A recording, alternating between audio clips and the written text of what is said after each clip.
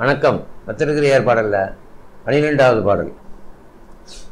ஆறாத புண்ணில் அழுந்தி கிடவாமல் தேராத சிந்ததினை தேற்றுவது இயக்கம் இப்போ ஏற்கனவே அந்த அழுகுன்ற பூ யோனி எப்பவுமே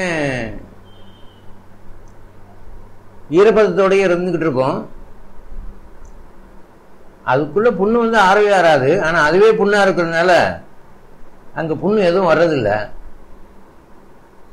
நீங்கள் யாரும் அதை அருவறுப்பாக நினைக்க வேண்டாம். கருவுரு பாலத்தில் அது முதல் நிலை. மாடாக்குழி அம்மன் சொல்லுவாங்க. மாடாக்குழி அம்மனை வணங்கி வழிபட்டுக்கிட்டே வந்தீங்கன்னா அதோட தீமைகள் உங்களை தாக்காது. அந்த புண் அது வந்து எப்பவுமே சாகர வரைக்கும் கூட பிறந்ததுலேருந்து சாகர வரைக்கும் அந்த யோனி வாய் வந்து பஞ்சபூதங்கள் வந்து போறதுனால ஈரம் இருந்துகிட்டே இருக்கும். சரீரம் சொல்லுவாங்க. சரிசமமான ஈரம். சரீரம்ன்றது சரிசமமான ஈரம்.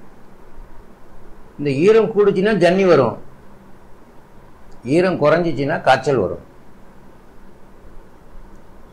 அப்போ காய்ச்சல் வந்துருச்சுன்னு சொன்னால் ஈரம் குறைஞ்சி போச்சுன்னு அர்த்தம். நல்லா ஒரு அரை லிட்டர் தண்ணியை சுட வச்சு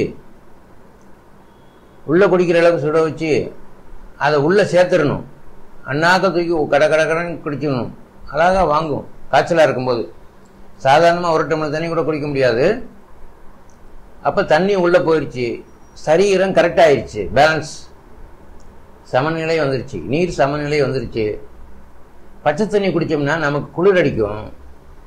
சுடுதண்ணி குடித்தா காய்ச்சல் இருந்தால் காய்ச்சல் போயிடும் வேர்வத்து வாரங்கள் எல்லாம் திறக்கும். எழுபத்தி ரெண்டாயிரம் ரோமக்கன்.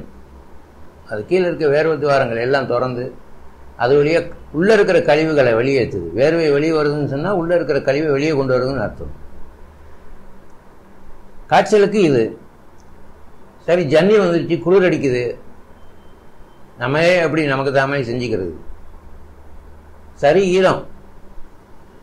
ஈரம் கூடுச்சுன்னா ஜன்னி. குறைஞ்சா காய்ச்சல். இப்போ கூடிடுச்சு. அப்போ உள்ள விரலை விட்டு வாங்கி எடுத்துடணும். எவ்வளவு முடியுமோ அவ்வளோ எடுக்கலாம். இல்லை ஒரு டம்ளர் வெந்நீரை குடிச்சு உள்ள விரலை விட்டு ஒரு மூணு டம்ளர் வாங்கி கூட வெளியே எடுக்கலாம்.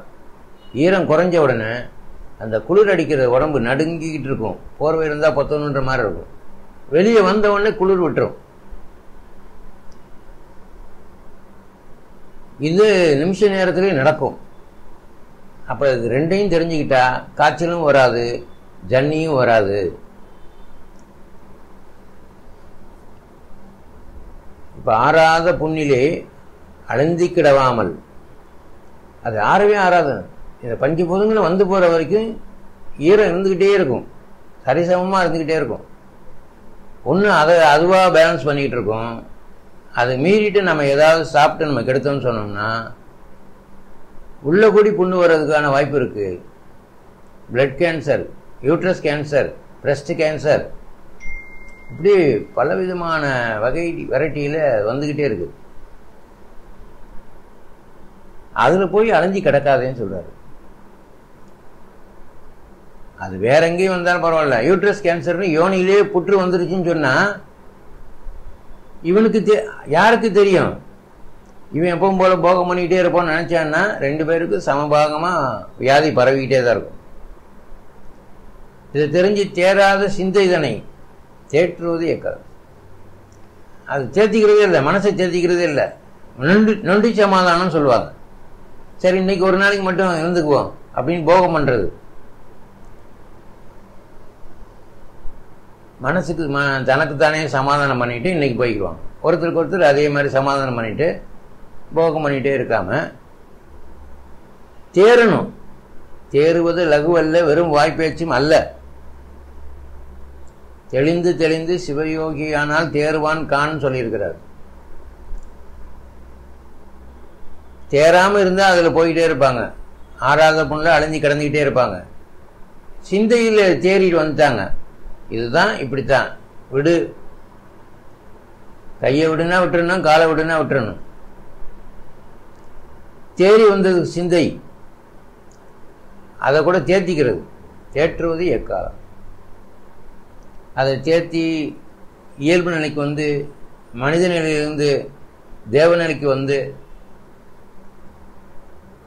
தேத்துறது இக்காலம் நாளைக்கா நாளை கழிச்சா அப்படின்றது தான் அவங்க சொல்கிறாங்க நீங்கள் நிகழ்காலத்தில் வந்து இப்பொழுதே இக்கணமே நான் செய்கிறேன்னு செஞ்சீங்கன்னா அதோட பலனை முழுசாக அனுபவிக்கலாம். ஆன்மீக வாழ்வில் நீங்கள் இதை தெரிஞ்சு பயன்படுத்தி வெற்றி பெறுங்க. நன்றி வணக்கம்.